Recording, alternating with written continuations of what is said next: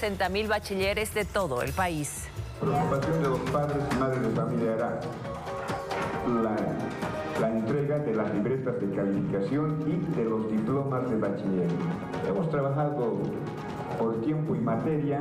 Hoy vamos a distribuir a las direcciones departamentales de educación para que impriman los datos de los bachilleres material suficiente para todas las direcciones departamentales de educación. También en educación superior está, están cerrando actividades eh, académicas en las escuelas superiores de formación de maestras y maestros, en los institutos técnicos tecnológicos y en las universidades. Entonces ahí también está garantizada la entrega de los diplomas académicos y de los títulos profesionales.